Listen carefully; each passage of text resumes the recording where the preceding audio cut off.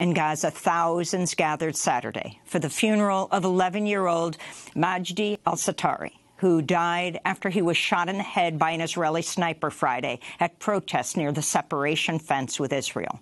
17-year-old Mumin al-Hams and 43-year-old Ghazi Abu Mustafa were also shot and killed by Israeli snipers at the protests. Israeli soldiers killed at least 150 Palestinians since the Palestinians' nonviolent Great March of Return protests began on March 30th.